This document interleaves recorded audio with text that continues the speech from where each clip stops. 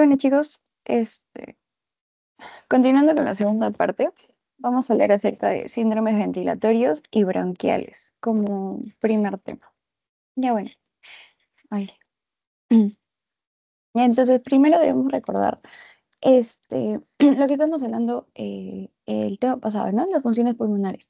Eh, la respiración va a tener em, dos momentos, la ventilación y el intercambio. Y justamente este intercambio es donde nosotros vamos a poder observar lo que es la perfusión y la difusión, ¿ya? Entonces, cualquier alteración del sistema respiratorio nos va a llevar a una hipoxemia, es decir, va a haber una disminución de oxígeno en nuestro organismo. Y esto clínicamente, ¿cómo lo vamos a poder observar? Mediante disnea y aumento del trabajo respiratorio del paciente, ¿ya? Entonces, este, básicamente, ¿cuál es la mecánica ventilatoria? La mecánica ventilatoria es el conjunto de fuerzas capaces de vencer la resistencia que ofrece la caja torácica y el parénquima pulmonar para llevar a cabo la ventilación, ¿no? Que sería pues la inspiración y la expiración. Ahora, ¿cuáles van a ser los elementos que nosotros vamos a tener este, en, más que todo lo que es la ventilación? Porque nosotros, como estamos hablando de la mecánica ventilatoria, vamos a ver este, los componentes que tiene este, ¿no? Por ejemplo, vamos a tener primero el sistema conductor, que es el árbol, el árbol traqueobronquial, ¿no? Entonces, este, vamos a ver que, em, por ejemplo, nosotros mientras más arriba estamos, por así decirlo, eh, por ejemplo, cuando desde la tráquea, el bronquio, los bronquiolos, los bronquiolos terminales, eh, los bronquiolos respiratorios y los sacos alveolares, vamos a ver que de arriba hacia abajo, primero vamos a tener bastante cantidad de cartílago, ¿no? Y luego, pues, este cartílago pues va a ir disminuyendo y lo que va a predominar va a ser el músculo, ya el músculo liso. ¿Ya? Entonces, este, en la zona de conductancia, por así es, porque tenemos dos zonas, en todo lo que es el, el árbol bronquial, tenemos la zona de conductancia y la zona respiratoria. La zona de conductancia, pues nosotros vamos a este, tener enfermedades que disminuyen el diámetro de la luz bronquial, ¿ya? Y este, justamente en esta zona vamos a tener lo que son los síndromes de las vías, de las vías aéreas. Y en los sacos alveolares, en esta parte de la parte respiratoria, vamos a tener lo que es la hematosis, que es este, el intercambio este, gaseoso, ¿ya? Luego tenemos este, una serie de exámenes. Esos son más que todo exámenes auxiliares que nos van a ayudar a poder observar si, em, si nuestros volúmenes pulmonares están, están de manera adecuada, porque recordemos que tenemos nosotros un montón de... Tenemos un montón de volúmenes pulmonares. Tenemos los volúmenes de tipo estático y dinámico que lo vamos a ver en la siguiente diapositiva y todos estos nos van a, nos van a referir a algo, ya nos van a, este, van a significar algo, ya y van a tener un valor normal y depende de eso, si están aumentado o disminuido, vamos a tener un patrón restrictivo u obstructivo y depende de eso vamos a tener la enfermedad característica, ¿no? Eh, podemos ver que esta es la espirometría, pues el paciente va, a soplar lo máximo que puede y justamente le, estamos viendo acá, ¿no? La, curva flujo-volumen, ¿no? Que, que lo vamos a explicar más adelante. ¿Ya? Entonces, este, primero vamos a comenzar con los volúmenes pulmonares estáticos. Los volúmenes pulmonares estáticos van a ser todos estos y van a incluir tanto volúmenes y capacidades. En los volúmenes vamos a encontrar lo que es el el, volumen tidal o el volumen corriente, vamos a encontrar el volumen este, de reserva inspiratorio y expiratorio, el volumen residual y, nada más, esos cuatro volúmenes, ¿no? Lo vamos a poder observar acá. Eh, el volumen tidal también es llamado volumen corriente y es la cantidad de aire que se inhala o exhala en una respiración normal en reposo. ¿Ya? Usualmente es de 500 mililitros. Luego tenemos el volumen residual, que es la cantidad de aire que permanece en los pulmones después de una expiración máxima y es de aproximadamente 1200 mililitros. Luego tenemos el volumen de reserva inspiratorio, que es el volumen adicional de aire que se puede inhalar con esfuerzo máximo después de una inhalación normal, que es de 3.5 litros o 3500 mililitros. Y luego tenemos el volumen de reserva expiratorio, que es el volumen adicional de aire que se puede exhalar con un esfuerzo máximo después de una exhalación normal, que es de 1 a, de 1000 a 1100 litros o mililitros. Bueno, de 1100 mililitros o 1.100 mililitros, 1.100 litros, ya bueno. Luego tenemos este, dentro de los volúmenes pulmonares estáticos las capacidades, ¿no? Las capacidades van a ser la suma de dos o más volúmenes, inclusive puede llegar a ser la suma de todos los volúmenes. Dentro de las capacidades tenemos la capacidad vital, que es el volumen máximo de aire que una persona puede exhalar después de una inhalación completa. Esta capacidad es de aproximadamente 4.6 litros y también va a tener una fórmula, ¿no? Para que se pueda hallar. Este eh, va a ser el volumen corriente, el volumen tidal, más el volumen de reserva inspiratorio, más el volumen de reserva expiratorio. Luego tenemos la capacidad pulmonar total, que es el volumen total eh, de aire que los pulmones pueden contener después de, una inhalación máxima. Y este puede ser, bueno, este es eh, según valores normales de 5.8 litros. También va a tener su fórmula, lo podemos hallar mediante la, la capacidad vital más del volumen residual. Y recordemos que la capacidad vital es el volumen corriente más volumen residual inspiratorio más volumen residual expiratorio. Luego tenemos la capacidad inspiratoria, que es el volumen máximo de aire que una persona puede inhalar después de una expiración normal, que es de 3.5 litros, y su fórmula, ¿no? La, este, el volumen eh, corriente más el volumen residual inspiratorio. Y luego tenemos la capacidad funcional residual, que es el volumen de aire que queda en los pulmones después de una expiración normal, que es de 2.3 litros, y pues lo vamos a, poder hallar eh, con la suma del volumen residual expiratorio y el este, volumen residual. Ah, perdón, el volumen de reserva expiratoria y el volumen residual. Ya, ahora, todos estos volúmenes que vemos acá, o la mayoría de estos los podemos hallar mediante la espirometría, excepción de estos tres, ¿no? Que sería el, el volumen residual, la capacidad pulmonar total y la capacidad funcional residual que esto se mide mediante la pletismografía corporal. ¿Por qué? Porque justamente el volumen, este, el volumen residual se, va a hallar eh, con la pletismografía y tanto eh, la capacidad pulmonar total y la capacidad funcional residual se van a hallar con el volumen residual, también este, tienen que, hallarse por pletismografía corporal. El resto sí se halla por este, espirometría. Ya, bueno. Luego tenemos los, eh, los volúmenes pulmonares dinámicos.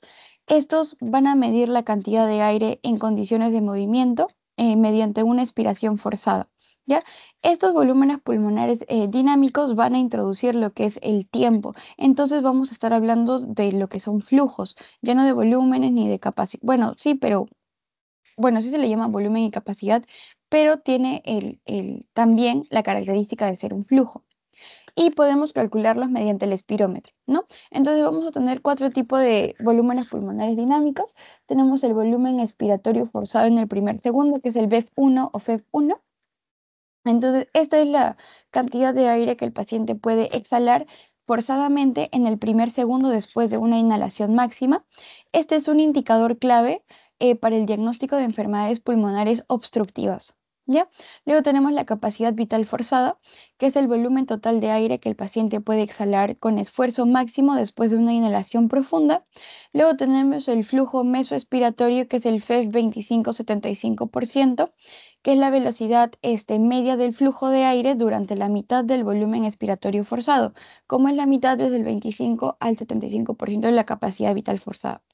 Esta es la medida más sensible para este, valorar eh, un síndrome obstructivo en fase precoz, ¿ya? Y se detecta bastante en lo que es personas fumadoras, ¿ya?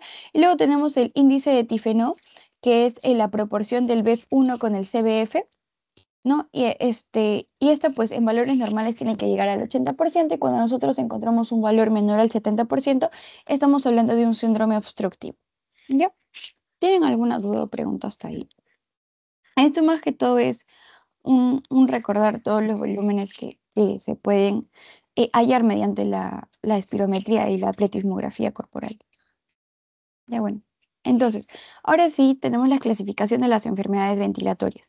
Eh, bueno, entonces eh, supongamos ¿no? que un paciente va a tener disnea y ya justamente esto va a, condicionar de que haya un mayor trabajo respiratorio. Entonces, este, ¿qué condiciona esto a su vez? Que los músculos respiratorios trabajen eh, de manera más forzada o de manera o más, ¿no? Que trabajen más. Entonces, estos músculos respiratorios deben vencer básicamente tres resistencias, pero se van a considerar dos, ¿no? Eh, lo que tienen que que superar los, los, componentes de la ventilación, básicamente, que sería el árbol respiratorio que lo hemos visto en diapositivas anteriores y los tejidos elásticos. También se consideran los tejidos no elásticos, pero pues no, no se toma en cuenta, ¿no? Para, para, para clasificar eh, qué tipo de enfermedad es, ¿no? Entonces, el árbol respiratorio, habíamos dicho, ¿no? Que es este, que va a ayudar, ¿no? Eh, perdón, ya. El árbol respiratorio es cuando va a haber este, el paso del aire a través de la vía aérea mediante un flujo laminar y los tejidos elásticos son pues este, de los pulmones hacia la caja torácica, que es más que todo la distensibilidad. Entonces, cuando nosotros vemos que hay un aumento de la resistencia del flujo de la vía aérea, vamos a estar hablando de una enfermedad obstructiva, mientras que hablamos de una, mientras este, que si vamos a hablar de una disminución de la distensibilidad, vamos a hablar de una enfermedad restrictiva. ¿Ya? Eh, eh, aumento de resistencia de flujo tiene que ver con el árbol respiratorio y esto es una enfermedad obstructiva. Disminución de la distensibilidad tiene que ver con los tejidos elásticos y esto pertenece a una enfermedad restrictiva. Ya. Ahora, este, bueno, con respecto a este tipo de enfermedad obstructiva y restrictiva, a su vez se van a dividir en, en bastantes, ¿no? Por ejemplo, las enfermedades obstructivas también son llamadas síndromes de la vía aérea y estas van a ser de tipo alta y de tipo baja. ¿Ya? Las de tipo alta más que todo van a ser inflamaciones como la epiglotitis, la laringitis, la aspiración por cuerpo extraño o el edema angioneurótico laringio. Mientras que las obstrucciones bajas pues van a ser las que más importancia van a tener y estas van a ser los llamados síndromes bronquiales, ¿ya? Vamos a tener la bronquitis aguda, las bronquiectasias, eh, el asma bronquial y la enfermedad pulmonar obstructiva crónica que es el EPOC. Y las enfermedades restrictivas vamos a tener el síndrome de condensación, el síndrome intersticial y el síndrome pleural. El más representativo de las restrictivas va a ser el síndrome intersticial con la enfermedad pulmonar e intersticial difusa.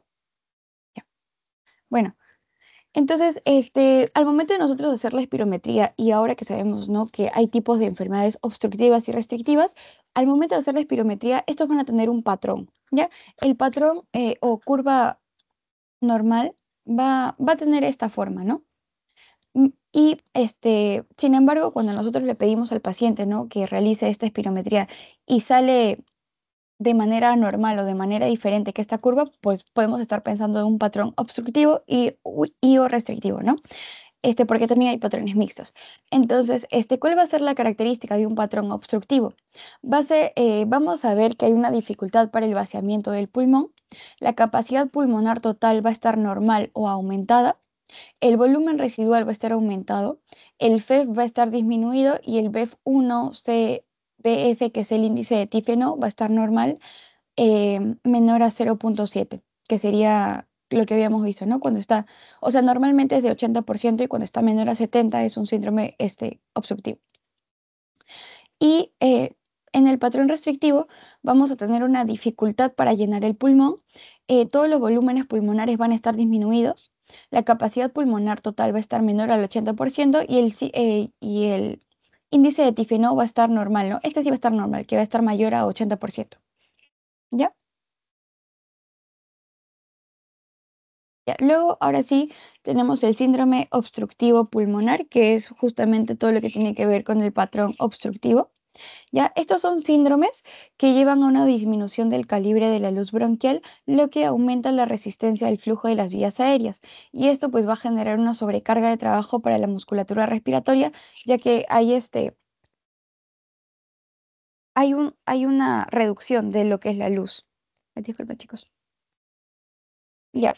Entonces van a haber tres mecanismos para que este síndrome obstructivo pulmonar pueda pasar. Están, por ejemplo, los trastornos dentro de la luz, eh, los trastornos en la pared de la vía aérea y la región peribronquial, que sería pues alrededor de los bronquios.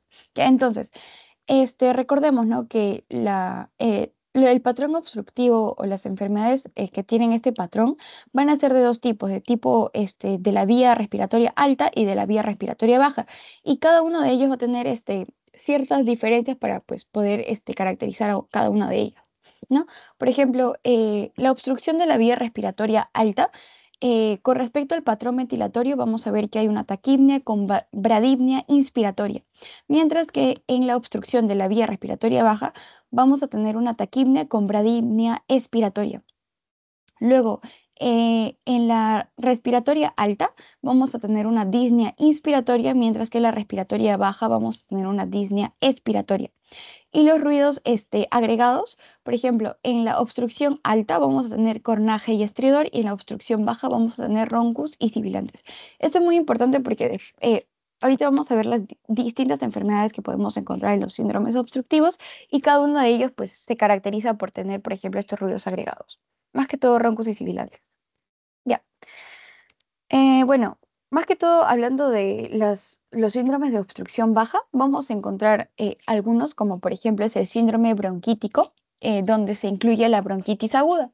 Esta bronquitis aguda es justamente, como dice su nombre, una inflamación aguda, difusa y autolimitada de la mucosa bronquial. Solamente va a afectar a bronquios, bronquios, por lo que no va a comprometer al pulmón ni a los alveolos. Este, y esta, la característica de esta bronquitis aguda, para hacer un diagnóstico diferencial de una crónica, es que la bronquitis aguda dura menos, eh, es, o sea, dura máximo tres semanas. Si es más, ya podríamos estar hablando de una bronquitis crónica. Luego, epidemiológicamente, eh, el, el origen o la causa más frecuente de esta bronquitis bronquitis aguda son los virus, ¿no? Es, este, tiene mayor frecuencia o mayor incidencia en invierno y es de mayor frecuencia en niños y en pacientes fumadores. Ahora, ¿cuál es la fisiopatología de esta bronquitis aguda? Bueno, primero va a haber una inflamación de la mucosa bronquial, ¿no? Este, esto va a producir que haya un edema y una producción excesiva de moco, hay una hipersecreción. Eh, debido a esta excesiva producción de moco, va a haber una obstrucción transitoria de las vías aéreas. ¿ya? Entonces, una vez que haya esta pues, este, obstrucción de las vías aéreas, eh, va a entrar lo que es eh, la respuesta inmune, ya que se va a activar el sistema inmunitario. ¿ya? Entonces, este sistema inmunitario pues, va a mandar a todos este, las células, ¿no? los leucocitos, los linfocitos, todo, y va a causar una siloestasis. Ya la siloestasis es una disfunción de los cilios.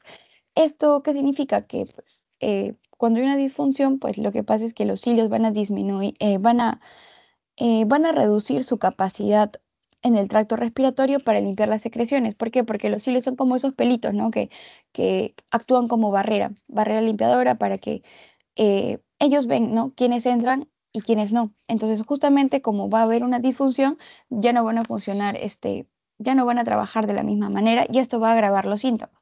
Entonces, clínicamente, ¿qué vamos a observar en la bronquitis aguda? Primero vamos a ver que su forma de inicio, o sea, la forma de inicio de los síntomas va a ser este, agudo o subagudo. Va a haber una tos con o sin expectoración y esto es lo más importante, ¿no? En la auscultación vamos a poder encontrar roncos, sibilancias y estertores húmedos. Y pues esta clínica puede ir acompañada también de sintomatología del tracto superior. ¿Cómo diagnosticamos una bronquitis aguda? Basándonos en la historia clínica y en la presentación de síntomas y ocultación. Ocultación más que todo, ¿ya? Y pues historia clínica, si están en invierno, si es un niño, si está expuesto a, factores, este, no sé, como tabaquismo por parte de los padres, este, si no se abriga, etcétera, etcétera, ¿ya? ¿Y cuál va a ser la terapéutica? Más que, o tratamiento. Más que todo, es el este, descanso, hidratación adecuada y, evitar factores agravantes, ¿no? Y el tratamiento eh, farmacológico, este, lo vamos a, vamos a medicarle al paciente antitusígenos, expectorantes y mucolíticos, eh, broncodilatadores, antibióticos, antivirales. Antibióticos, antivirales en el caso de que esta bronquitis aguda, pues sea por bacterias, ¿no? Porque también puede este, causarse por bacterias, pero el más frecuente es por virus. Y antivirales por el, el virus de la gripe. Ya. Bueno, luego tenemos otro tipo de, síndrome obstructivo bajo, que es el síndrome bronquiectásico, donde vamos a encontrar más que todo la bronquiectasia. La bronquiectasia son las dilataciones permanentes de los bronquios, donde más del 50% este, van a ser de síndrome bronquial y también se puede presentar como un síndrome restrictivo mixto, pero más que todo es un síndrome obstructivo. ¿ya?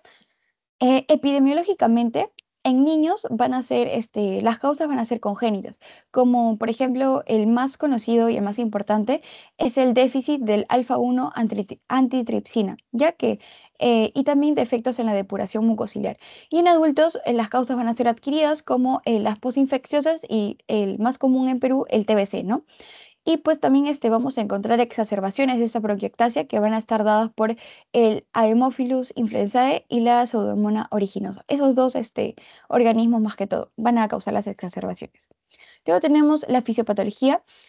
vamos a tener una inflamación crónica, ¿no? Que es una eh, infección persistente de los bronquios. Entonces nosotros vamos a, este, bueno, estos, estos virus, estos, estos microorganismos van a poder, este, ingresan de, de manera repetitiva a, nuestro organismo. Entonces esto va a generar este, una, una inflamación crónica, ¿no? Debido a la, a, la, a, la, persistencia de estos microorganismos. Entonces, ¿qué va a hacer esto? Esto va a generar una dilatación bronquial en donde se va a liberar enzimas proteolíticas, ¿ya? Y estas enzimas proteolíticas van a degradar el tejido elástico y el músculo de la pared bronquial. ¿ya? Y justamente esto va a generar una obstrucción y alteración del aclaramiento mucociliar, eh, lo que favorece la colonización bacteriana. ¿Cuál va a ser la clínica de esta bronquiectasia? El síntoma o, la sintomatología principal y más importante es la broncorrea. La broncorrea es una tos productiva abundante que también puede ser purulenta. Hablamos de broncorrea cuando nosotros este, eh, tenemos una secreción mayor a 150 o a 200 mililitros eh, por día y pues vamos a tener tos a predominio matutino y postural, ¿no? Cuando nosotros hablemos de una tos postural es que va a haber una cierta postura, una cierta posición del paciente que va va a permitirle este, como expectorar todo, toda la secreción que tiene, ¿no? Eso es una tos postural. Ahora, ¿cómo diagnosticamos esta bronquiectasia? Mediante este, la historia clínica y el examen físico. Y este, el examen confirmatorio para una bronquiectasia es la tomografía axial computarizada, ¿no? También podemos observar, también podemos pedirle una radiografía de tórax, pero el principal es el TAC. Luego también este, podemos pedirle pruebas microbiológicas como eh, cultivo de esputo para identificar patógenos en el caso de la pseudomonas originosa. Y en terapéutica vamos a manejar la infección con antibióticos y vacunas y vamos a controlar la inflamación y moco mediante los broncodilatadores, los corticosteroides inhalados y los, y los mucolíticos principalmente. Luego también vamos a tener el síndrome broncopléjico. Este como tal no va a ser un síndrome, sino va a ser una, una, un empeoramiento de lo que es la expectoración que es una complicación ¿no? del estado obstructivo severo. Este síndrome broncopléjico como tal lo podemos observar en el asma bronquial en crisis, en el enfisema exacerbado o en el edema agudo de pulmón. ¿Y cuál va a ser la clínica? Va a ser una tos escasa e improductiva, es decir, no vamos a tener ninguna secreción. Y esto es lo más importante del síndrome broncopléjico. Y también podemos observar disnea y ortopnea. ¿ya? Y luego el más importante que lo, lo, saltan mucho en, su, en sus diapositivas es lo que es eh, la enfermedad pulmonar obstructiva crónica. ¿Ya? Entonces, esta enfermedad pulmonar obstructiva crónica va a tener varios tipos. Son varios tipos de enfermedades, pero hacen mucho énfasis en estos dos, ¿no? Que es la bronquitis crónica y el enfisema pulmonar.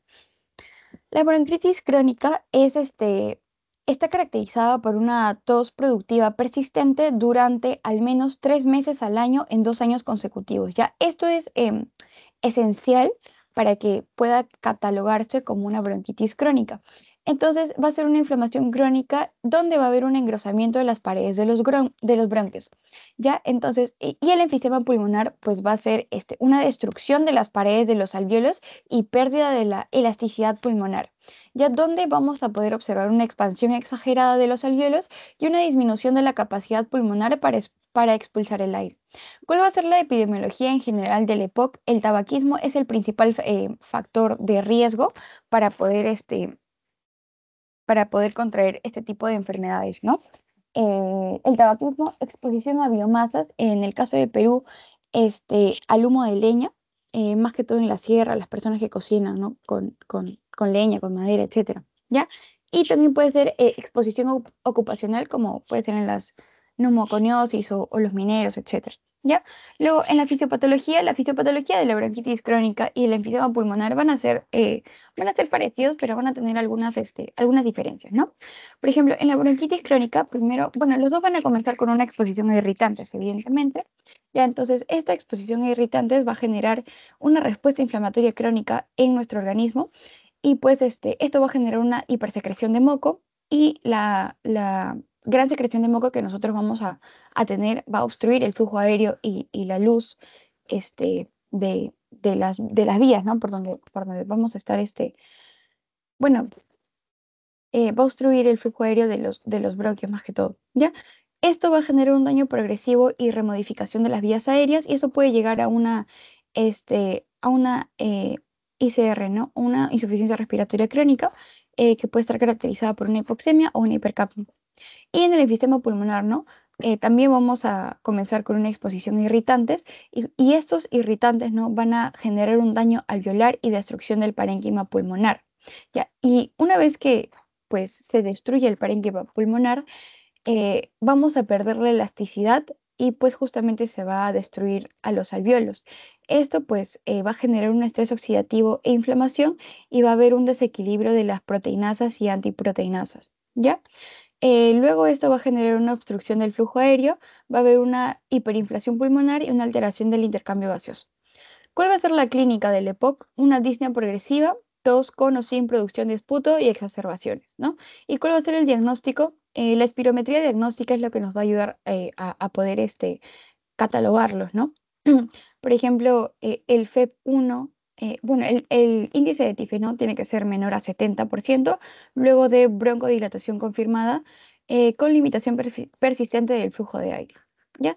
¿Y cuál va a ser la terapéutica? Van a ser primero los cambios en el estilo de vida, específicamente del tabaquismo. Perdón.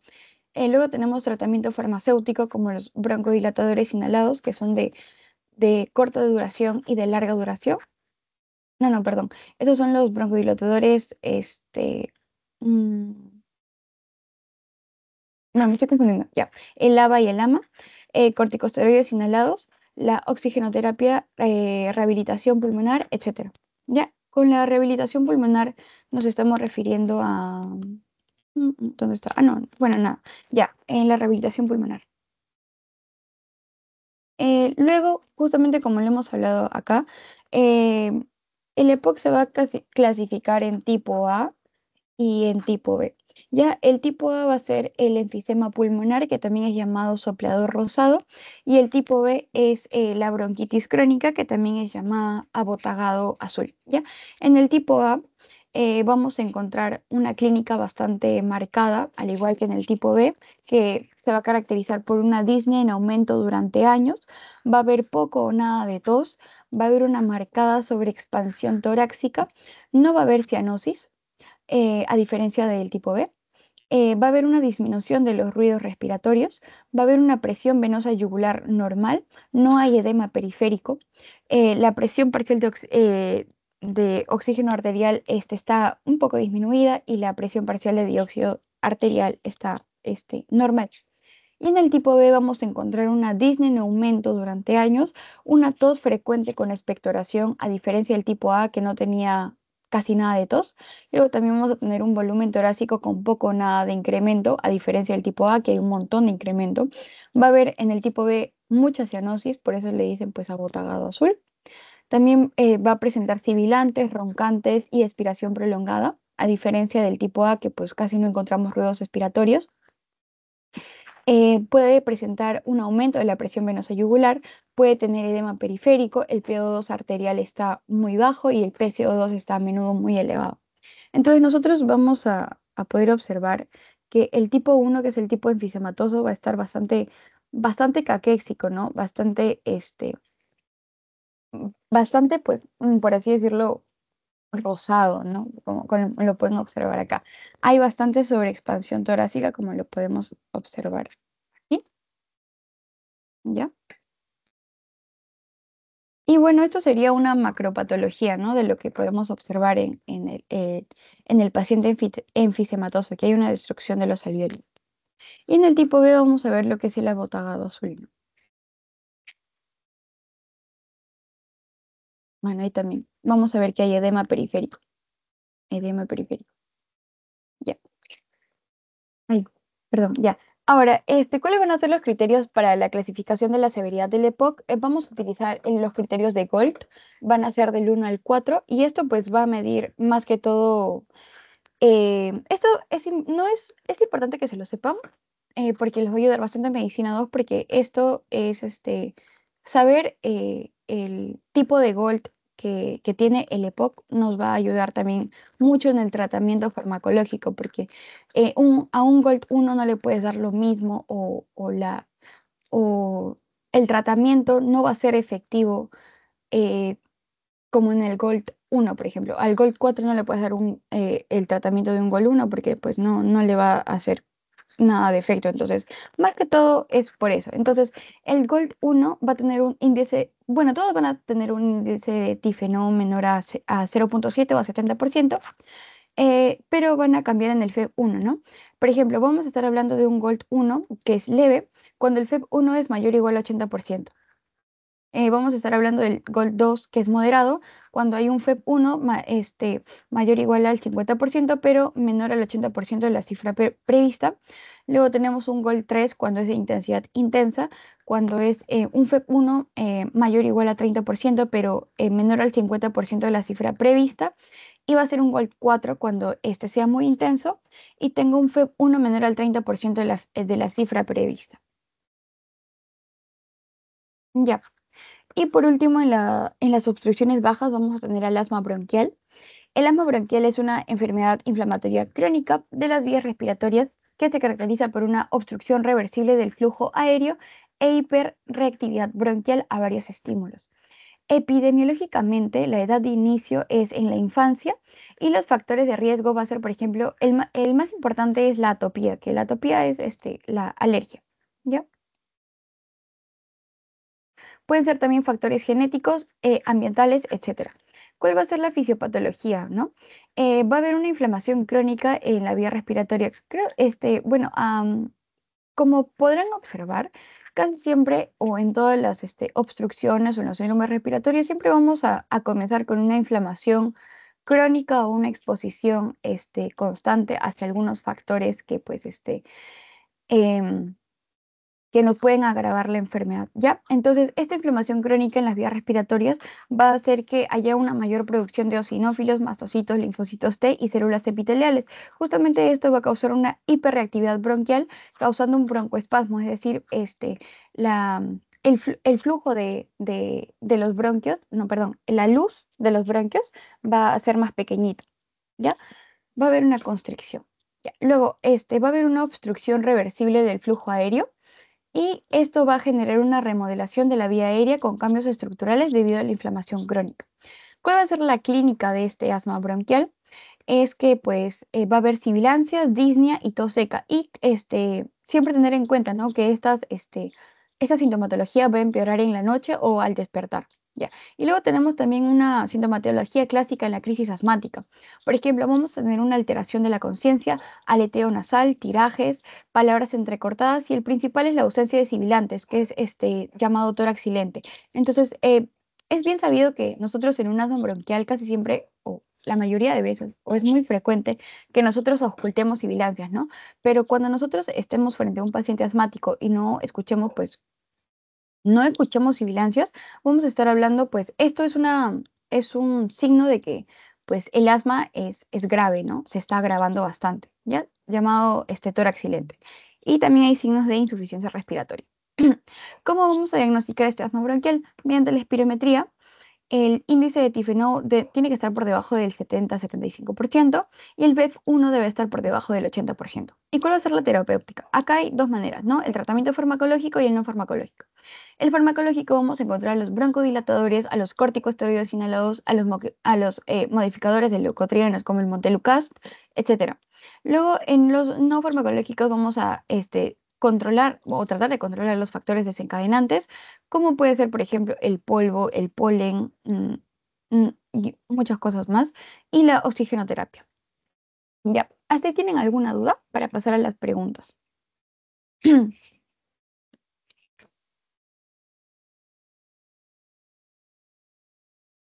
ya. Eh, Varón de 70 años con antecedente de tuberculosis pulmonar presenta hace un mes tos con expectoración purulenta progresiva durante las mañanas, que desde hace cinco días es de gran volumen. Al examen se le encuentra febril con algunos estertores de origen bronquial y roncantes difusos en pulmones. Señale cuál de las opciones puede estar presentando más probablemente. ¿Alguien sabe la respuesta, chicos?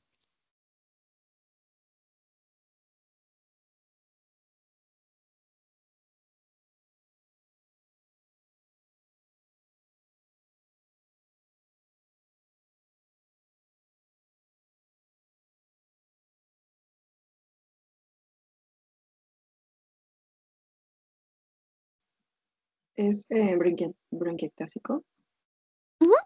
Es el síndrome bronquiectásico. Muy bien, gracias. Este, sí, mira, este, justamente eh, nos dicen, ¿no? Que la paciente hace un mes este, tiene una tos con expectoración este, purulenta progresiva durante las mañanas, ¿no? Y desde hace cinco días es de gran volumen. Cuando nosotros hablamos de una expectoración de gran volumen, estamos hablando de una, este, ay, perdón, estamos hablando de una broncorrea, ¿no? Que justamente habíamos dicho que es una tos productiva abundante, que también puede ser purulenta y es este, de predominio matutino y postural, ¿no? Ya. Eh, y nada más, eso, con eso lo pueden sacar. Más que todo son características que les van a dar en casos clínicos y, con eso ya este, pueden orientarse, ¿no? En, en este caso sería el síndrome bronquiectásico. Ya. Varón de 18 años que cursa con tres días eh, de tos no productiva y disnea predominio nocturno, al examen físico presenta taquimnia con disnea expiratoria. A la auscultación presenta roncus y sibilancias. Señale cuál es el diagnóstico sindrómico más probable.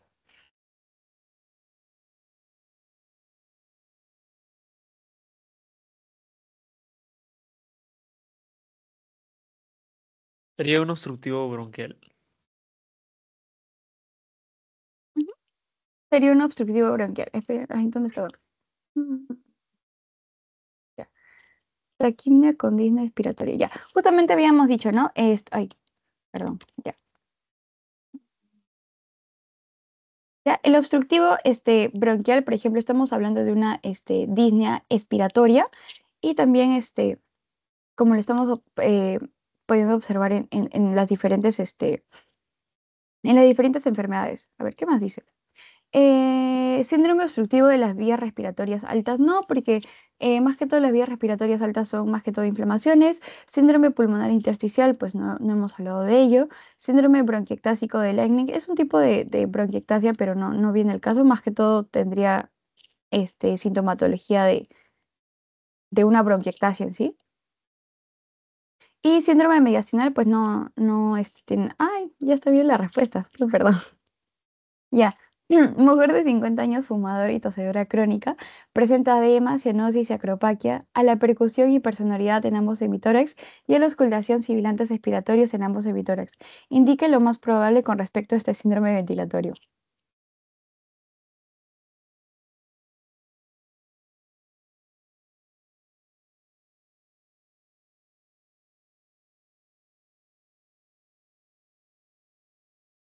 Edema, cianosis y acropaquia.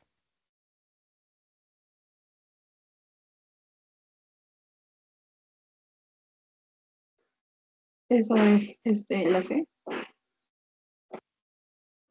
Presenta características de una enfermedad pul- pulmonar obstructiva crónica, este, justamente del EPOC, ¿no? Este, ¿cuál era el, cuál sería el tipo 1 o el tipo 2? Sería del tipo 2, Ujú, porque ¿Y cómo presenta se llama? Eh, abotagado azul. Ujú, ¿Y cuál sería la, eh, la enfermedad pues prevalente en el abotagado azul? O sea, teníamos dos, ¿se acuerdan? Eh, teníamos la bronquitis crónica y la enfisema pulmonar. ¿Cuál de los dos sería en este caso? La bronquitis crónica. Bronquitis crónica. Sí, muy bien, chicos. Ya, bueno. Luego, una niña de 6 años presenta la auscultación, sibilancias expiratorias en ambos campos pulmonares y aumento de la frecuencia respiratoria. En la espirometría se obtiene un patrón obstructivo. En cuanto a la fisiopatología de esta enfermedad o síndrome, señale lo más probable. Estamos hablando de un patrón obstructivo.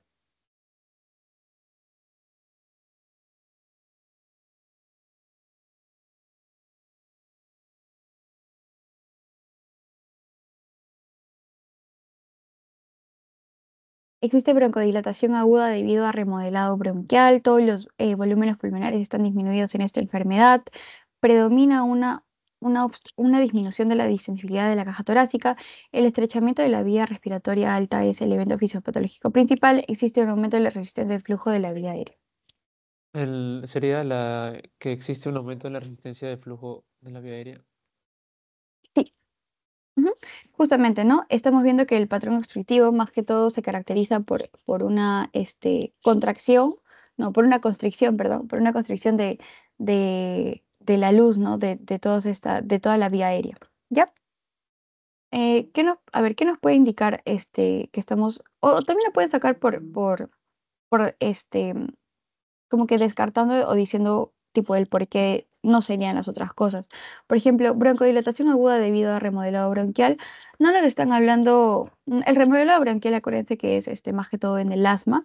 Eh, puede haber sibilancias expiratorias. Nos están hablando de sibilancias, sí, pero nos están especificando que son expiratorias. Entonces, eh, por ahí tendríamos que, que, que, ver, ¿no? Tendríamos que descartar.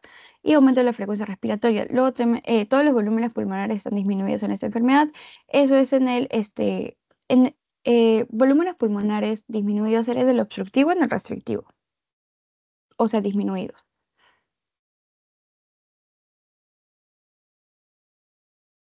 Bueno, era en el restrictivo. ya, eh, entonces, este, así, así pueden ir sacando. Ah, ya. Bueno, esos son todos los síndromes obstructivos que tenemos. Eh, y ahora vamos a hablar de los síndromes restrictivos, ¿no? Los síndromes restrictivos se, caracterizan porque todos los volúmenes pulmonares justamente van a estar reducidos, ¿no? Como este, lo, habíamos comentado, ¿ya? Estos este, van a ser alteraciones del parénquima pulmonar o por enfermedades pleurales, paretorácica o aparato neuromuscular.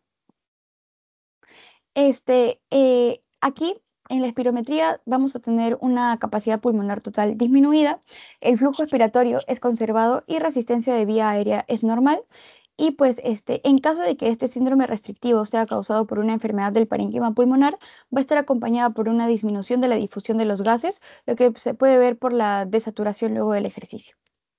Ya, entonces, el síndrome restrictivo va a tener diferentes eh, etiologías y pues este, eh, lo pueden relacionar con el, el acrónimo PENT, ¿no?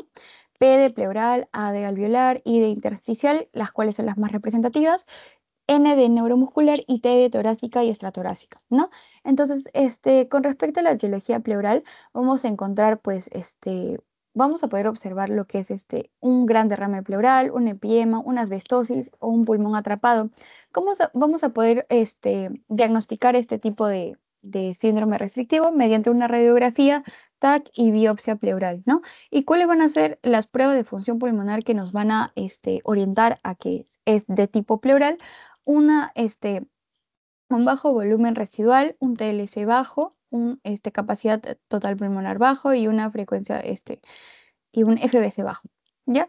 También este, eh, de tipo alveolar vamos a encontrar los edemas y las hemorragias pulmonares. El diagnóstico casi es el mismo, radiografía, TAC y examen físico. y prueba de función pulmonar vamos a ver un incremento de DLCO en hemorragia. Las intersticiales, como les había dicho, no son las más representativas. Acá vamos a encontrar la, fibrosis pulmonar idiopática y otro tipo de, fibrosis. Y el diagnóstico, eh, también radiografía, TAC y examen físico. Y prueba de función pulmonar, este, va a haber un bajo este, volumen residual, un bajo FBC, un disminuido este, DLCO y una distensibilidad este, disminuida. Neuromuscular, vamos a encontrar a la miastenia gravis, al ELA y a la miopatía inflamatoria. El diagnóstico se hace mediante la electromiografía y el examen clínico. Hay un bajo volumen residual y un TLC bajo. Y este, con respecto a tipo torácica y extratorácica, vamos a encontrar la obesidad, la cifoescoliosis y la citis, ¿no? Y el diagnóstico es mediante el examen físico, donde vamos a encontrar este, un bajo volumen de reserva respiratoria y un bajo CRF en obesidad. Ya, bueno, hablando netamente de, las causas de tipo intersticiales, este, con respecto a las, pruebas de, función pulmonar, vamos a encontrar que va a haber una disminución de los volúmenes pulmonares, como lo habíamos dicho, va a haber un índice de tifenol normal o alta, va a haber una resistencia de vías aéreas normal o baja, va a haber una menor distensibilidad pulmonar, una presión intrapleural muy negativa, va a haber una hipoxemia arterial por la desigualdad de la ventiloperfusión, hay un deterioro de la difusión del PCO2 arterial normal o bajo, hay una capacidad de difusión reducida para el CO, para el, dióxido para el monóxido de carbono y hay un aumento de la, y hay un aumento de la resistencia vascular pulmonar. Esos son algunos datos, no es necesario que se lo aprendan, sin embargo sí es necesario que sepan que la causa más eh, representativa del síndrome restrictivo es la de tipo intersticial, que incluye la fibrosis pulmonar idiopática. Bueno, entonces clínicamente este, vamos a observar una sintomatología diferente para las enfermedades intrínsecas llamadas parenquimales y las enfermedades extrínsecas, ¿no? llamadas extraparenquimales. En las parenquimales vamos a encontrar una disnea de esfuerzo progresiva, una tos no productiva, una hemoptisis. Cuando nosotros veamos una hemoptisis, eh, podemos pensar o nos sugiere pensar que el paciente pueda tener una hemorragia alveolar difusa, una vasculitis. También vamos a encontrar sibilancias, pero muy poco frecuente, ¿no? Y en caso de que lo encontremos, puede estar asociado con un cáncer, que es una, una linfagitis carcinomatosa, una neumonía eosinofílica o una bronquiolitis. También vamos a encontrar un dolor torácico y un dolor pleurítico, ¿no? Como en el lupus eritematoso sistémico, en la, artritis reumatoide. Y en las enfermedades extrínsecas, que son las este, extraparenquimales, este, esto vamos a encontrar más que todo la, la cifoescoliosis, ¿no? Que en pacientes menores de 35 años va a ser asintomático, y también vamos a encontrar trastornos neuromusculares que producen debilidad progresiva de los músculos respiratorios. En las, este, en las enfermedades extrínsecas, justamente va a estar las, eh, la torácica, la de tipo torácica, estrotorácica, la neuromuscular, y en las intrínsecas, que son las parenquimales, van a estar las tres primeras, ¿no? La pleural, la alveolar y la intersticial. Y en el examen clínico, eh, o qué signos vamos a poder observar en el examen clínico para poder, para poder clasificarlo como parenquimal o extraparenquimal. Si es parenquimal, vamos a encontrar un hipocratismo digital. ¿Alguien me puede decir qué es un hipocratismo digital, por favor?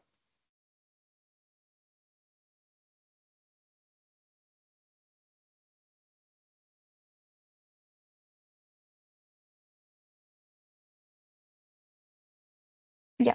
El hipocratismo digital es el abotagamiento de las partes más distales de, nuestras, este, nuestras manos, ¿no? Como que eh, son los dedos en palillo de tambor, lo que se conoce así. ¿ya? Tenemos los crepitantes bilaterales, vamos a encontrar roncos en pacientes con bronquiolitis, también vamos a tener hallazgos este, extrapulmonares como el eritema nodoso y compromiso parotidio en sarcoidosis, lesiones de vasculitis cutáneas. También vamos a encontrar el fenómeno de Raynaud y la esclerodactilia. También vamos a encontrar signos de insuficiencia cardíaca derecha en estadios avanzados de fibrosis pulmonar. Y con respecto a las enfermedades este, extraparenquimales, vamos a encontrar este, tirajes, taquimnia y otras características de compromiso sistémico. Bueno, ¿tienen alguna duda hasta ahí? Para pasar a la pregunta. Ya bueno. Mujer de 62. Ay, sí, perdón, perdón. Eh, ah, te habías dicho que la elegía era el pain, pero o sea, no, no escuché muy bien en dónde entraban las enfermedades intrínsecas.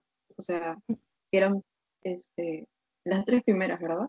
Sí, las tres primeras. Las intrínsecas eh, o parenquimales van a ser la pleural, la alveolar y la intersticial, justamente no porque este, estamos hablando de la pleura, los alveolos, el intersticio del pulmón. Y las este, extraparenquimales van a ser los de tipo neuromusculares y torácicas y extratorácicas.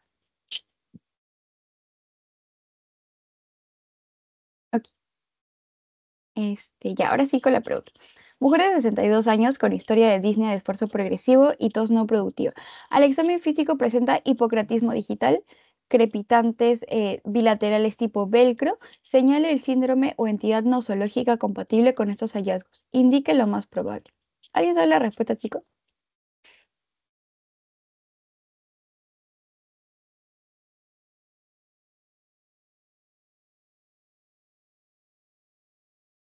Fibrosis pulmonar.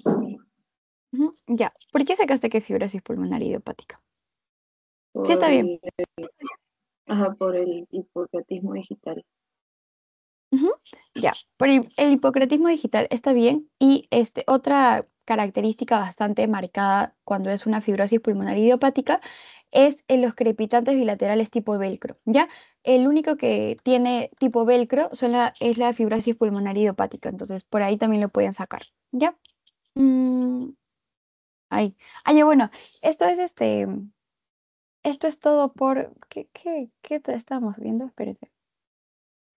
Ya, eso es todo por síndromes ventilatorios y bronquiales. Y este, ahora vamos a pasar a síndromes mediastinales. ¿Tienen alguna duda o pregunta hasta ahorita? Ese es el último, para terminar. Es cortito. Ya bueno.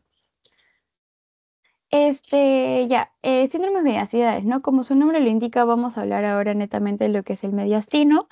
eh, que también está en la parte del tórax, ¿no? Pero bueno, tiene otra, tiene otro, otro, tiene un tema específico, tiene una clase específica. ¿Por qué? Porque van a haber otros este, tipos de, patologías y alteraciones, ¿ya? Primero, lo que debemos recordar es la división este, mediastinal con los límites y estructuras que tienen. Recordemos que el mediastino este, es, em, bueno, vamos a dibujar.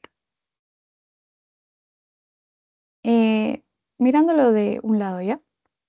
El mediastino es todo esto básicamente, ¿no? Aquí está el corazón, mediastino anterior, medio, posterior, superior. Me, anterior, medio, posterior, superior. ¿Ya? Entonces, es este, importante recordar eso. ¿Por qué? Porque justamente en los síndromes este, mediastinales vamos a encontrar que hay alteraciones o hay masas o hay cosas que no deberían estar en, en, estas, eh, en estos compartimentos del mediastino. Entonces, el mediastino anterior, eh, ¿cuáles van a ser sus límites? Eh, por adelante, el, esternón, ¿no? Em, y por detrás o posteriormente va a ser el margen anterior del pericardio, ¿no? Que sería esta parte espera, voy, a, voy a buscar una, una, imagen ya, porque siento que. Un momentito.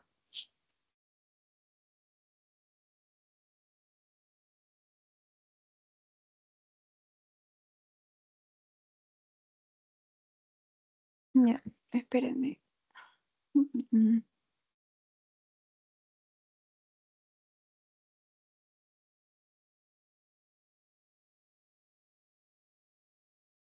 Ay, bueno, aquí está. Me había olvidado.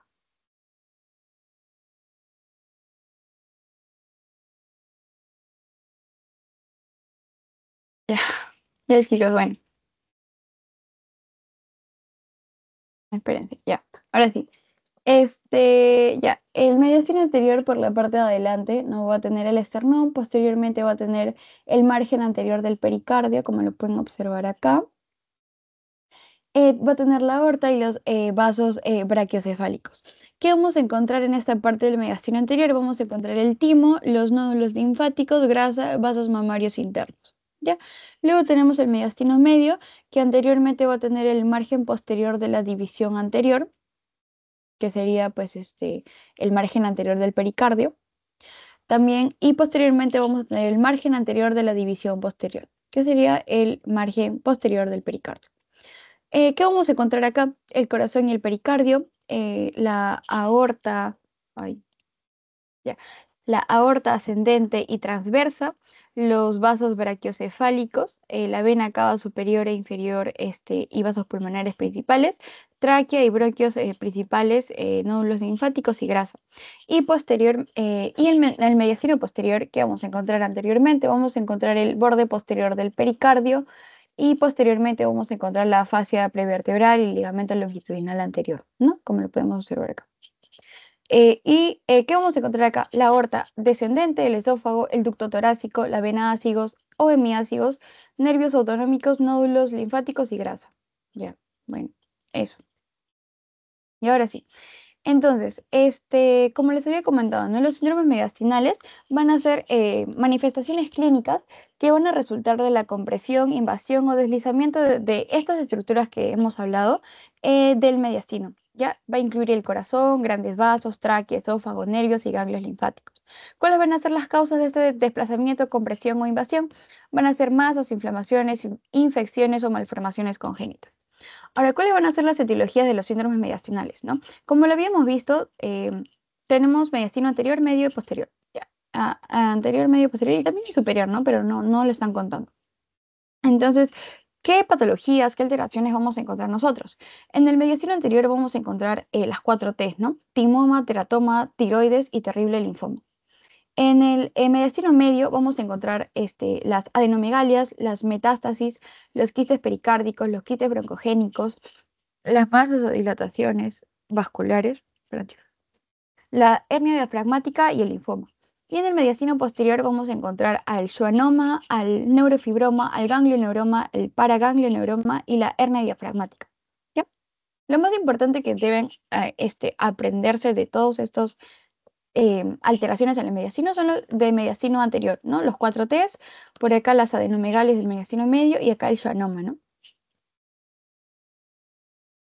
Entonces, los síndromes mediastinales.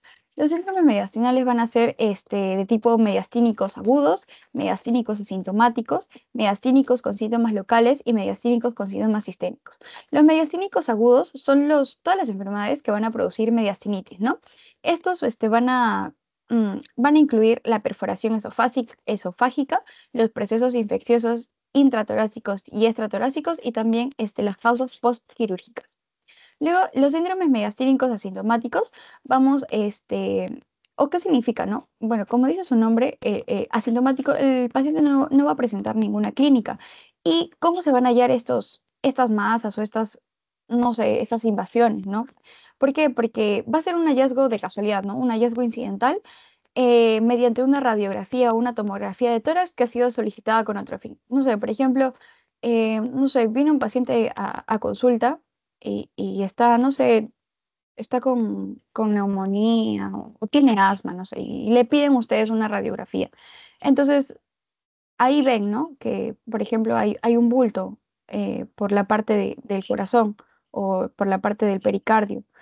Este, y ya, pues, esos, y, y el paciente no tiene ninguna clínica. Eso podríamos llamarlo un síndrome mediastínico asintomático, ¿no? Ya. Luego tenemos los síndromes mediastínicos con síntomas locales, este, donde podemos encontrar hemoptisis, ronquera, estridor, derrame pleural, eh, compresión e invasión directa del esófago y en raras ocasiones eh, tumores del mediastino anterior pueden causar pericarditis o taponamiento pericárdico. Dentro de estos síndromes mediastínicos con síntomas locales vamos a encontrar a los síndromes mediastínicos por compresión, que son los más importantes. Eh, tenemos a los síndromes de vena cava superior, al síndrome, a los síndromes de compresión nerviosa y a los síndromes de compresión arterial. ¿ya? Eh, y luego tenemos los síndromes megacínicos este, con síntomas sistémicos. Vamos a encontrar el hipo o hipertiroidismo con bocio sumergido, hipercalcemia con linfoma de no Hodgkin y tumor paratiroideo ectópico, miastenia gravis con timoma, hipertensión arterial en paragangliomas y ginecomastia con tumores de células germinales. Y ahora vamos a ver más que todo los síndromes mediastínicos con síntomas locales y sistémicos. Eh, eh, locales, mediastínicos por compresión, ¿ya?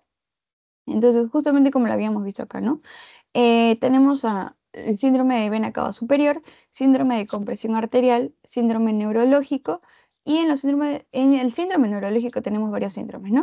Compresión del nervio laringio recurrente, el síndrome de Horner, el compromiso del nervio frénico, el compromiso del nervio vago y manifestaciones de, manifestaciones de compresión medular, ¿no?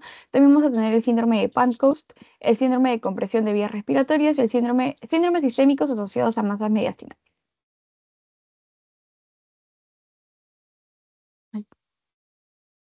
Bueno, con respecto al síndrome de la vena cava superior, va a ser un conjunto de signos y síntomas producidos por cualquier causa que obstruya el flujo normal de la sangre por dicha vena, no por la vena cava superior. ¿Cuál va a ser el origen más frecuente? El, 80% de la causa van a ser neoplasias, ¿no? Neoplasias. Eh, luego, ¿cuál es la causa benigna más frecuente? Es la trombosis venosa asociada a catéteres. ¿Ya? ¿Cuáles son los signos de gravedad de este síndrome? Va a ser la compresión de la vía aérea superior, eh, puede ser un edema cerebral, eh, un estridor, edema lingual y de glotis, cefalea y confusión o coma. Y este, ¿cuál va a ser un signo urgente, no? Eh, cuando este, bueno, si se encuentran estos signos o cualquiera de estos signos, necesita un tratamiento de inmediato. Ya. ¿Qué, o, ¿Qué necesito por un diagnóstico presuntivo de este síndrome? Una anamnesis y un examen físico adecuado, ¿no? Como les digo, la anamnesis y la historia clínica es bastante importante para que ustedes puedan diferenciar una enfermedad de otra. Este, ¿y, cuál es el, ¿Y cómo se hace un diagnóstico definitivo ¿no? de este síndrome de vena cava superior? Mediante un TAC con contraste. Ahora, eh, como lo habíamos dicho, ¿no? ¿cuáles son las causas del síndrome de vena cava eh, superior? El más importante y el más común es el neoplásico, ¿no? De, eh, en un 80%, dentro del cual el más frecuente es el carcinoma pulmonar no microcítico, ya en un 50%, es el más común. Y este, las causas no neoplásicas del 20% está la trombosis secundaria catéteres, ¿no? Eh, esta sería eh, una, la causa benigna más frecuente, esa sería la causa pues, maligna más frecuente. ¿Y cuáles son los signos y síntomas del síndrome de la vena cava superior? Eh, este, vamos a tener la disnea y la tos, que son este, se van a hallar en el 54% de, de los casos, y el edema facial, ¿no? En el 82%. También vamos a encontrar, este, en el caso de síntomas, disfagia, síncope, cefaleas, alteraciones visuales, sensación de tirandez en el cuello, y en signos vamos a encontrar también la dilatación de las venas cervicales, la dilatación de las venas superficiales del tórax, edema de extremidades superiores, que es llamado el edema en esclavina, la plenitud facial, la alteración psíquica, estupor y coma, y, la, y el fondo de ojo, ¿no? que sería este, la dilatación de las venas retinianas. Ya. Luego tenemos el, el síndrome de compresión arterial. Este, estos son poco frecuentes, eh, ¿Por qué? Porque cuando se genera un síndrome de compresión arterial va a haber un, un, desplazamiento más que una compresión en sí. Se llama compresión arterial, pero va a estar más caracterizado por un desplazamiento que por una presión. Ya, entonces vamos a tener dos tipos de compresión arterial, la de la arteria aorta y la de la arteria pulmonar. La de la arteria aorta vamos a eh, poder observar un soplo sistólico aórtico, vamos a tener frémitos irradiados a base del cuello. Los frémitos eh, son, eh, por ejemplo, cuando, por ejemplo, em, cuando ustedes auscultan, pueden escuchar este, em, mm, ¿cómo se les puedo decir? Pueden escuchar como, como un sonido, como, como un sonido que, que no debería estar ahí, como si fuera como que un frote, algo así. Entonces los frémitos van a hacer lo mismo, pero como que tú lo puedes, lo mismo como si escultaras, pero cuando palpas. Esos son los frémitos. Los frémitos irradiados a base del cuello.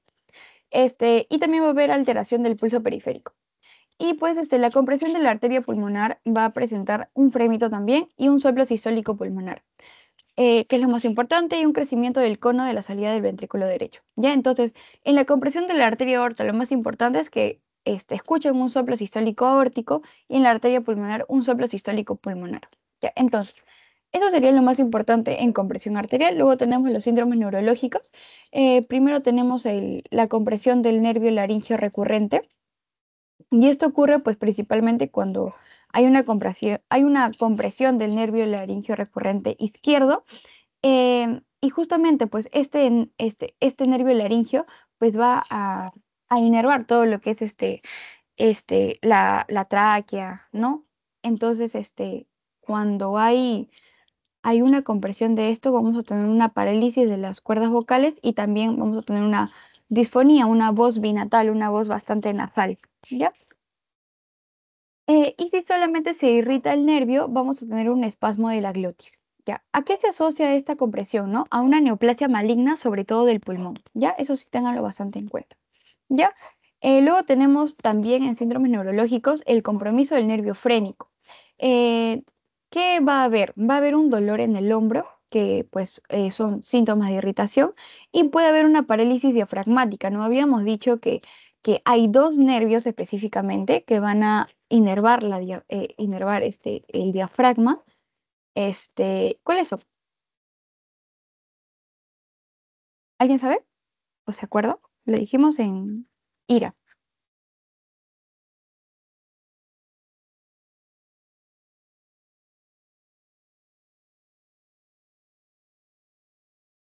Bueno, es este, el C4 y el C5, ¿ya? Acuérdense, acuérdense de eso porque, bueno, es bastante importante, ¿no? De repente por ahí les pueden preguntar, ¿ya? Y también se podría producir eh, también síndromes neurológicos, también vamos a encontrar el compromiso del nervio frénico, este, donde vamos a encontrar una tosis palpebral, que sería esto de acá, que como que el párpado de un lado está más caído que el otro. En oftalmia, miosis, también podemos encontrar anidrosis eh, y calor de la hemicara correspondiente. Anidrosis es exceso de sudoración. Eh, causa, la causa más común es un carcinoma broncogénico y por qué ocurre por la invasión o compresión del ganglio estrellado. Esto es muy importante que se lo aprendan. ¿Hasta ahí tienen alguna duda?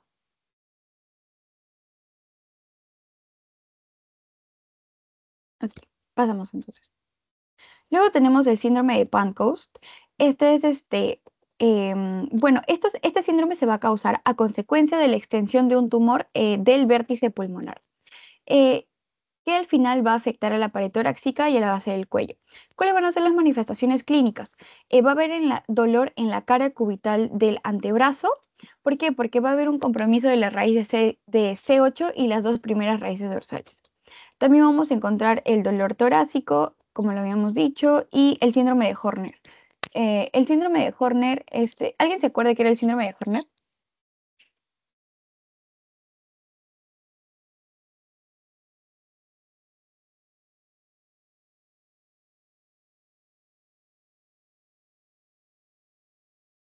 ¿Ya? Bueno, el síndrome de Horner va, este, va a caracterizarse también por una, una,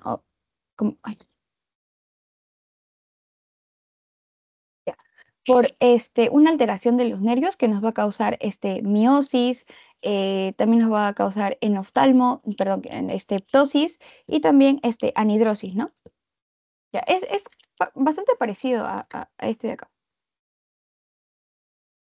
Ptosis, miosis y anidrosis. ¿Ya? Eh, luego tenemos eh, síndromes de compresión de vías respiratorias.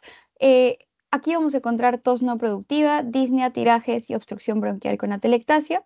Luego tenemos los síndromes sistémicos, sistémicos, donde vamos a encontrar el hipo o hipertiroidismo con bocio sumergido, este, la hipercalcemia con linfoma no Hodgkin y, con tumor paratiroide ectópico, la miastenia gravis con timoma, la hipertensión arterial en feocromocitomas y la ginecomastia con tumores de células germinales. Ahora, hablando de bocio sumergido, ¿alguien sabe eh, o recuerdan cuál es la, maniobra que se hace para poder encontrar un, un bocio intratorácico? La de Marañón. Creo que la de Pemberton, ¿no? La maniobra de Marañón que nos va a dar el. Bueno, el síndrome. A ver, el síndrome de Pemberton que nos da la maniobra. La maniobra de Marañón que nos da el síndrome de Pemberton, ¿no? Ya. Eh, gracias, chicos. Recordemos que esta es este. Va a estar caracterizada por una plétora facial, es decir, este, la cara va a estar muy, muy, muy roja. Y, ya, esto es este, mediante. Esta técnica es eh, nosotros cómo podemos diagnosticar ¿no? un bocio sumergido.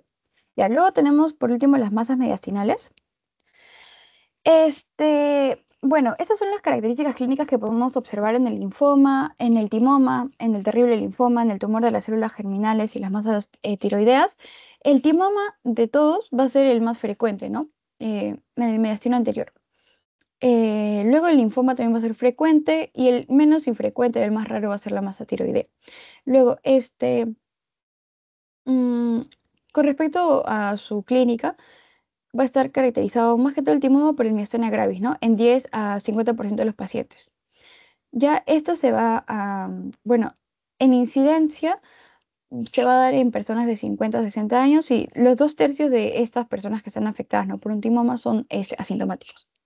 Luego, en el linfoma, del 10 al 20% este, van a ser eh, por masas mediastinales y va a, estar, eh, va a ser más frecuente en personas de 30 a 40 años. Muchos de los pacientes tienen síntomas sistémicos y locales como los que hemos hablado este, anteriormente.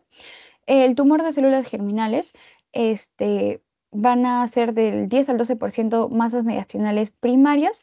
Ocurre en todos los grupos etarios, a diferencia de los dos primeros. Y este, el teratoma es el tumor de células germinales más común. Y este, la masa tiroidea es usualmente asintomática y puede ocurrir también en cualquier grupo etario. ¿Ya? Y bueno, eso sería todo, chicos. Este, este, les he, como les dije, eh, lo más importante que ustedes sepan es este, el mediastino anterior, porque de esto sí preguntan bastante. Y el resto sí lo, pueden repasar, eh, solamente las adenomegalias y los schwannomas, pero, pero, y el resto sí, como que leerlo, ¿no? Pero lo más importante es el mediastino anterior y las cuatro T's. ¿Tienen alguna duda o pregunta hasta ahí? Eso sería todo. Esa sería la bibliografía.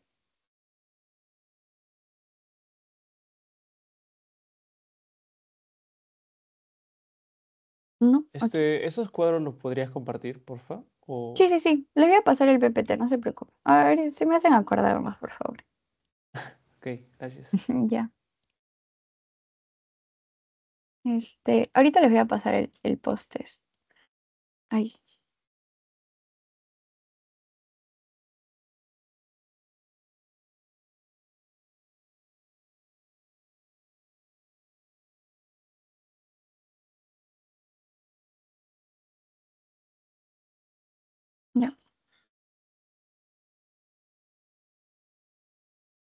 Ay, ya les pasé el post test por el, por el chat de WhatsApp, chicos. Post test.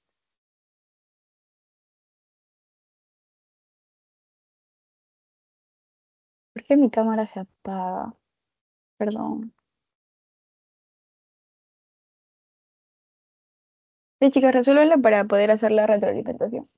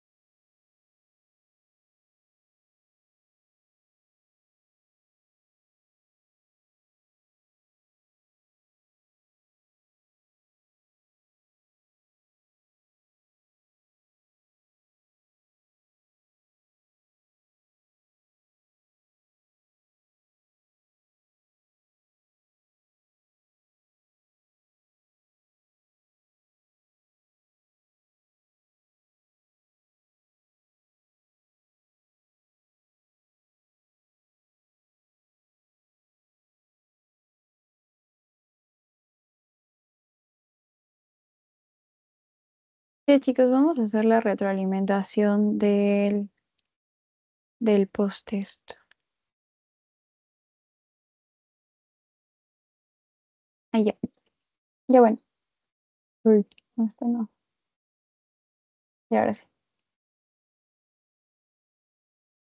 Ya. Eh, ¿cuál es una característica clave del patrón respiratorio obstructivo en la espirometría?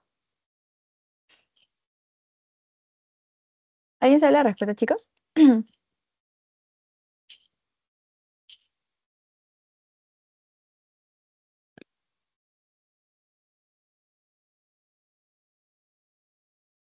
Ya bueno.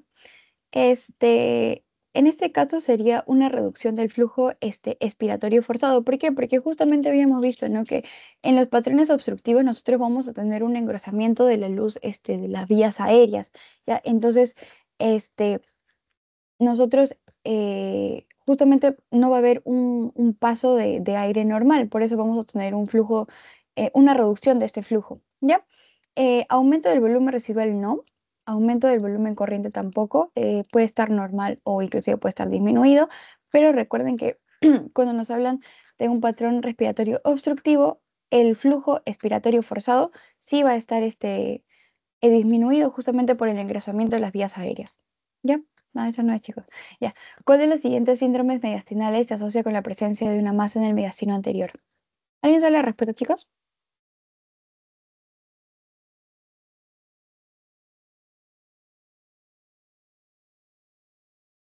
Ya, bueno, en este caso sería el síndrome de la vena cava superior. Ya, el síndrome de Horner, el síndrome de Pancoast y el síndrome de la vena cava inferior. Este no, no, no tiene nada que ver, ¿no? Descartado. El síndrome de Pancoast y el síndrome de Horner, pues tienen otra, otra característica, ¿no? El síndrome de la vena cava superior es la que, la que tiene una masa en el mediastino anterior. Luego, en el síndrome de Pancoast, eh, ¿cuál es un hallazgo clínico característico?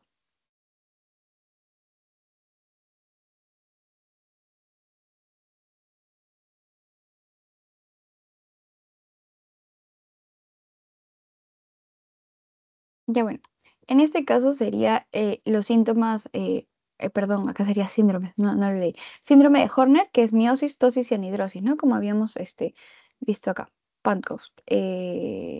síndrome de Horner, acá. Anhidrosis, tosis y miosis. sintomatología principal de la bronquiectasia. ¿Alguien sabe, chicos? La broncorrea. La broncorrea, exacto.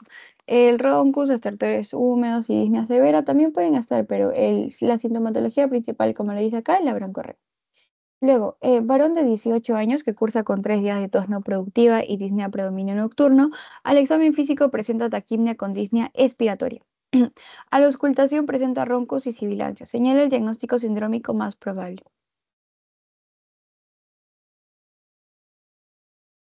¿Alguien Sería sabe, un chicos? obstructivo bronquial.